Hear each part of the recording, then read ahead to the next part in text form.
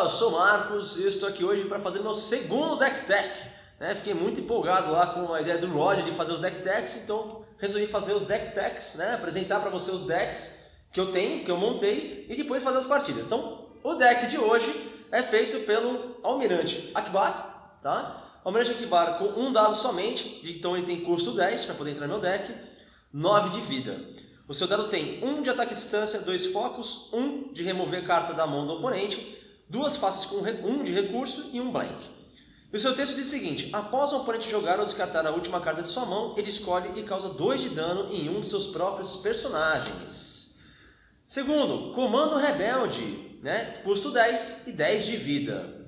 Seu dado tem 1 de ataque à distância, 2 de ataque à distância, 1 de remover cartinha da mão do oponente, um recurso e um especial com custo 1 e um blank. E o custo, o especial dele diz o seguinte: remova um dado de um oponente e o outro comando. Então, ou seja, 30 pontinhos aqui com Akibar, com um dado e dois comandos rebeldes. Né?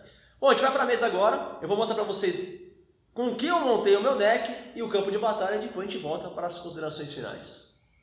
Então agora a gente vai dar uma olhada no baralho, vou começar das melhorias para os suportes e para os eventos. E por fim, com o campo de batalha, né? Então, para começar, a gente tem a Blaster A180, que é uma melhoria arma de custo 3 de recurso, com uma face 2 de ataque à distância, mais 2 de ataque à distância, um disrupt, dois faces, duas faces especial e um blank. Ela tem três especiais aqui. O primeiro especial dela diz o seguinte: causa 1 um de dano ao personagem e dê um escudo ao personagem atribuído, ou seja, dou 1 um de dano e dou um escudo para quem tiver com essa arma. O segundo, cause 1 um de dano a cada um dos personagens de oponente. E o terceiro, cause 2 de dano indefensável a um personagem. É uma arma para descer porrada aí, né? Eu posso bater em galera ou dar indefensável. Depois a gente tem a bosta compacta, né? A famigerada bosta compacta, eu sempre uso nos, decks aí, né? De ataque à distância. Custo 2 de recurso, uma melhoria arma. Ela tem uma face com um ataque à distância, dois, dois ataques à distância com custo de um recurso, mais dois ataques à distância, um escudo, um recurso e, uma, e um blank. Ela tem emboscada e realocar. Então, toda vez que eu colocar ela, posso ativar o personagem já ou fazer alguma outra ação que seja do meu interessante e realocar. Caso o personagem seja com ela morra, eu passo para o próximo personagem. Minha próxima arma é a pistola Blaster DH17. Custo 1 de recurso. Ela tem uma face de dado, o dado dela tem um ataque melee, dois ataques melee com custo 1 de recurso, mais 2 melee, um escudo e dois lados blank. É uma arminha mais ou menos, na verdade, bem mais ou menos, né? Tá colocado aqui mais pro umzinho aqui e o mais dois, né? Se eu puder optar ou usar um Focus e mover meus dados, você tentar pegar o mais dois aqui, assim como a Blaster Compacta também, né? Essas duas aqui estão mais pelo mais dois. Próximo é o exagero, que é realmente um exagero. Custo 2 de recurso, o dado dele tem mais um, mili, mais um de ataque à distância, mais dois de ataque à distância, mais três de ataque à distância, mais três de ataque à distância e dois blanks. Cara, é só bônus, aí tá aqui para somar mesmo e descer tiro no final das contas eu vou ter realmente dano nos personagens e nessa arma aqui, a princípio, essas, nessas essas duas aqui tem, nas três armas com um, né? Um lado só dando dano, o resto só somando. Então a ideia realmente é somar um dano alto para dar com os personagens. Próxima melhoria é a Sentinela. A Sentinela tem custo 1 de recurso, soldado tem um foco, dois disrupt, custo 1 de recurso, um recurso, dois lados com especial e um blank. O especial dela diz o seguinte: olhe a mão de oponente e descarte a carta com menor custo. Você escolhe em caso de empate. Então a ideia aqui é usar o focus, né, da arma poder movimentar dado, os dados para o que eu quero, ou o especial no caso, né? Baixo custo, consigo colocar no turno, e o especial poder descartar as mãos, impedir que ele, o oponente faça algo que venha me atrapalhar. O próximo é equipamento de sobrevivência, que tem custo 2 de recurso, o soldado tem um melee, um foco, um escudo, dois escudos, um recurso e mais um recurso. O equipamento de sobrevivência está aqui mais, na verdade, por causa dos escudos proteger, ok? Para tentar ganhar um recurso, que vai ser necessário aqui para poder pôr as coisas, apesar que a única coisa que tem o custo 3 é minha Blaster A180, ou seja, todo turno eu consigo usar o que eu pegar em mão, pelo menos uma carta eu consigo pôr né, na mesa, e os eventos tem bastante evento custo zero. E ele está, na verdade, porque eu não tenho outro exagero, ou não tenho outro blaster compacta, né? Então está meio cumprindo, o, completando o baralho, né? Então depois disso a gente tem a melhoria ala, que obviamente o ala é custo zero, né? Somente personagem vermelho, depois de ativar um personagem vermelho, você pode ativar um personagem atribuído. E a ideia é você conseguir fazer, é, você ativa um personagem e ativa o ala junto, né? O Wingman, o cara que está do lado, né? Tem duas cópias do ala aqui no caso, para de repente eu conseguir ativar o, o Akbar e os dois comandos rebeldes ativarem ao mesmo tempo, todo mundo junto já e de repente descer um, um piau cósmico, né? Mesa montada com tudo isso aqui faria um estrago. Depois disso a gente tem treinamento, que é uma melhoria de habilidade de custo 2. Somente personagem vermelho não único, ou seja, somente para os comandos rebeldes. Né? É, personagem atribuído é de elite, ou seja, né, é, coloque uma segunda cópia de seu dado em sua carta.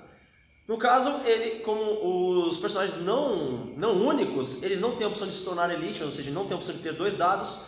Com o treinamento, ele se torna um personagem elite, ou seja, ele tem, ele, quando você treinar ele, né, colocar aqui o treinamento, você pega o segundo dado do comando rebelde. E as melhorias estão aqui literalmente para deixar bem claro que a ideia é bater mesmo, cara. É bater, melhorar dado, ativar junto, fazer o possível para logo na cara você conseguir ter uma quantidade de dados consideráveis para ou usar o focus, né?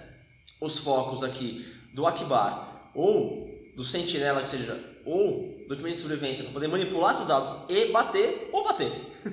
o negócio é bater, não vai ter jeito. Não tem, aqui não tem muitas opções que são melhoria aqui, né? Primeiro suporte que a gente tem é o R2, tem custo 2 de recursos, seu dado tem um melee, um foco, um disrupt, um recurso e duas faces com especial. O especial dele diz o seguinte, resolva um dos seus dados aumentando seu valor em 1. Um.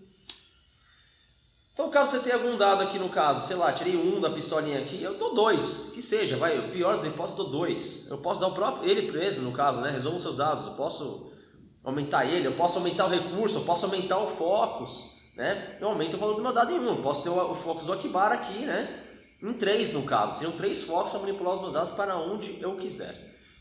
Próximo suporte é o Revolta Planetária, custo 2 de recurso, esse aqui é muito bacana, é muito bacana e vai ser é, o, a estratégia do jogo de manter um campo de batalha sob meu controle. Por quê? Após reivindicar o campo de batalha, força o oponente a causar 2 de dano aos personagens dele, distribuídos como ele quiser. Ou seja, é um suporte que vai ficar na mesa e vai bater 2 toda vez que eu reivindicar o campo de batalha. Ou seja, uma vez mais, eu tenho que fazer o, possível para deixar o ala aqui, ou causá-las, ativar os meus personagens, resolver o meu turno muito rápido para aí sim já reivindicar o campo de batalha e dar 2 de dano. Né? Então a ideia é o mais rápido possível resolver minha situação toda e partir para o campo de batalha aqui, tá? E resolver. Então vai poder agilizar bastante no processo, a gente tem um famigerado combo, né? Que eu usei muito no meu, meu Leia e Akibar, que é o bater e correr com é uma armadilha. Primeiro vamos no bater e correr. Bater e correr tem custo zero, é uma carta que tem emboscada, ou seja, eu posso né, realizar uma ação extra depois de jogar essa carta e eu ativo dos personagens vermelhos. Ou seja, eu jogo essa carta, ativo o Akibar, certo? Se os dois estiverem com ala, eu ativo os dois juntos. E eu ganho mais uma ação. Ou seja, está todo mundo ativo. Né? Aí eu venho aqui e uso, como minha próxima ação, uso It's a Trap. Né? É uma armadilha, ou It's a Crap. De custo 1 um de recurso, outra emboscada né, escolhendo os símbolos mostrados nos dados de um oponente, vire quantos dos seus dados vermelhos quiser para mostrar o símbolo escolhido. Ou seja, todos os meus dados são vermelhos, certo? Se meu oponente tiver pelo menos um ataque à distância, meu amigo, ele vai chorar, porque ele vai tomar 2, 4, 5, 7, 9, 9, 11, 14. Ok? 14 de dano. Se tiver treinamento ainda, nos dois, né, só tem um treinamento no caso, se tiver pelo menos um treinamento, 16 de dano. Eu consigo dar 16 de dano com esse combo alucinado aqui que eu acabei de montar. Certo? Obviamente os, os comandos têm que estar com ala, os dois têm que estar com ala e um treinamento no caso. E aí eu faço. E eu tenho que ter uma. Eu faço. O, meu, oponente tem que ter um dado com face ataque à distância. Aí o bicho vai tomar 16 de dano, vai ser o do Borogodó. Bom, seguindo os eventos aqui, a gente tem entrincheirado, que é outro motivo para estar sempre no controle do campo de batalha, que é ele tem custo 1 de recurso e jogue somente se você estiver no controle do campo de batalha. Ou seja, eu tenho que estar no controle do campo de batalha, né? Dê 3 escudos para seus personagens distribuídos como você preferir.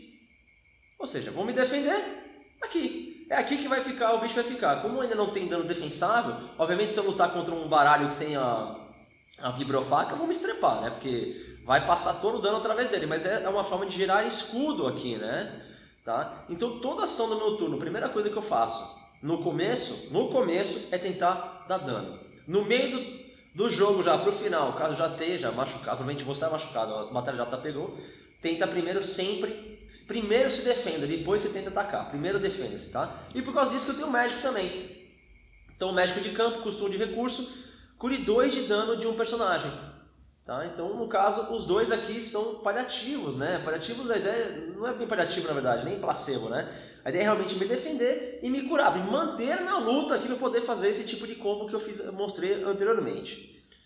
Depois disso, a gente tem opções, no caso são agora são opções que a gente pode ter aqui, que é remova, né, ou supressão, perdão, custo zero, remova os seus dados vermelhos mostrando dano à distância, então remova um dado de um oponente. Você está lutando com. tá enfrentando um deck aí complicado, você tirou um umzinho aqui, sei lá, umzinho daqui, umzinho daqui, às vezes vai parar de escudo mesmo, ou não vai fazer grande diferença, remove o dado. Usa sua pressão, custo zero, remove seu dado e remove o dado do oponente. Acabou. Demorou. Flanquear. Flanquear, custo 1 um de recurso.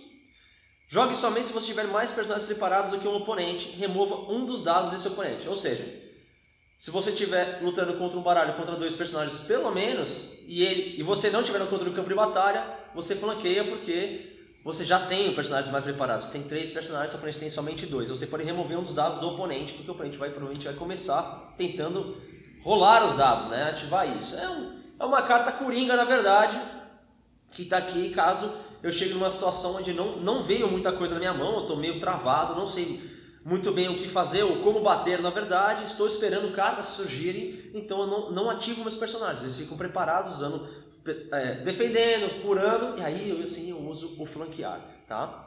E para poder baratear o custo aqui, poder pôr as coisas em campo e sobrar recursos para poder fazer os meus eventos, eu tenho rearmar, né?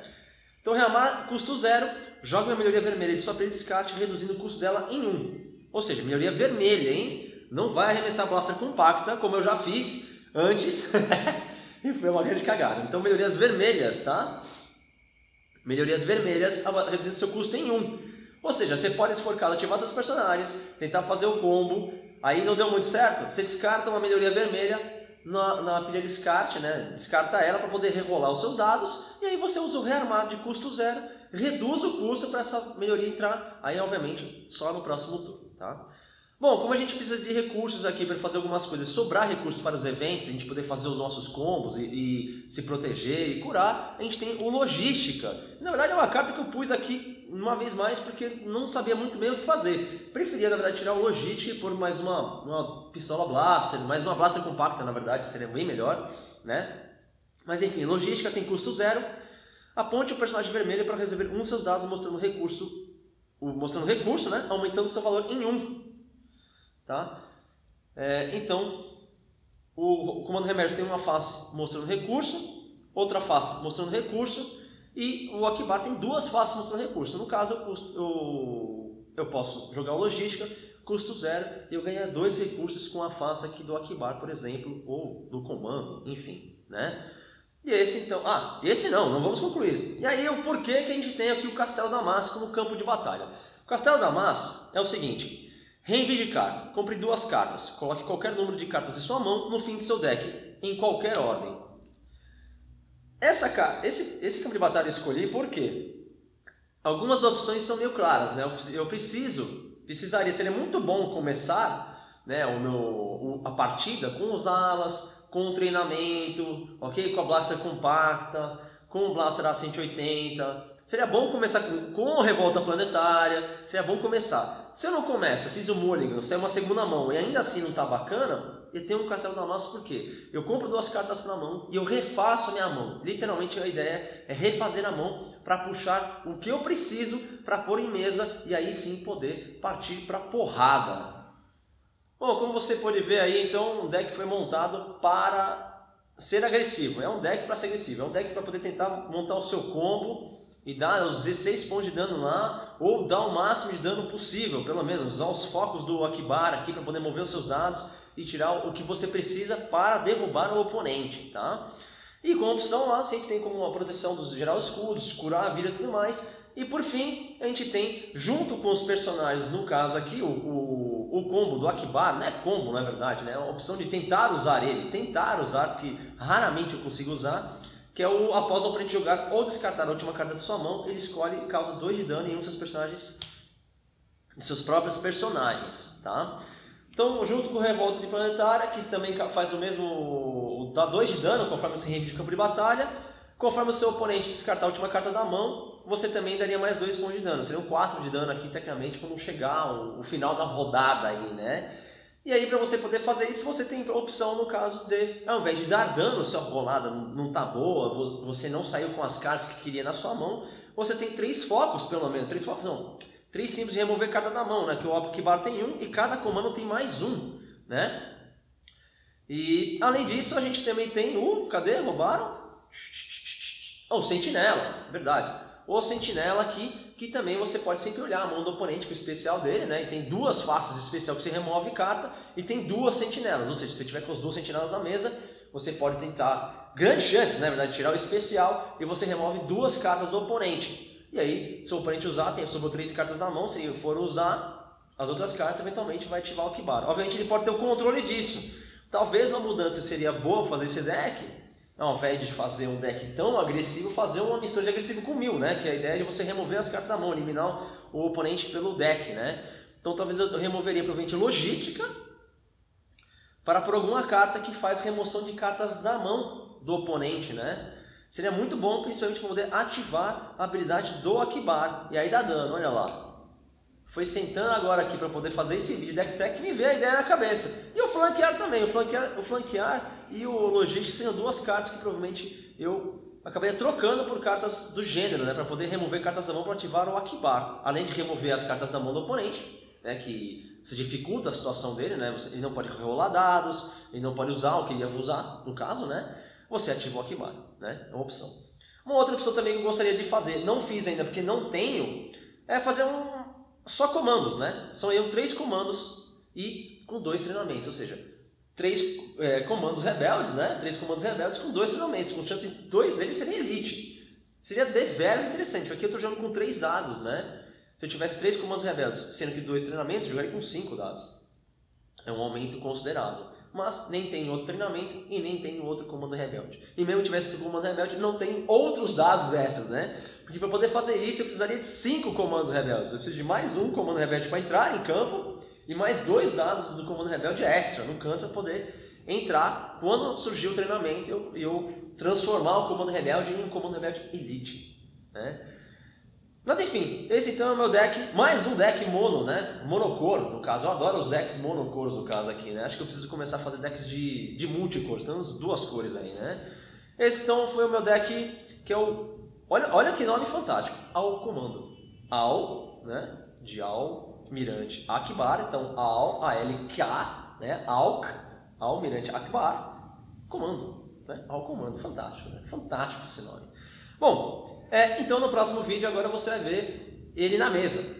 Então vou colocar ele na mesa, vamos, vou pro embate com o Pedrão. Vou chamar o Pedrão uma vez mais aqui pra gente ir pro embate e ver o que, que sai desse deck aqui. Será que eu realmente consigo fazer o meu combo de 16 de dano? Vamos ver isso no próximo vídeo. Bom, é isso aí, curte o vídeo, se inscreve no canal e até a próxima.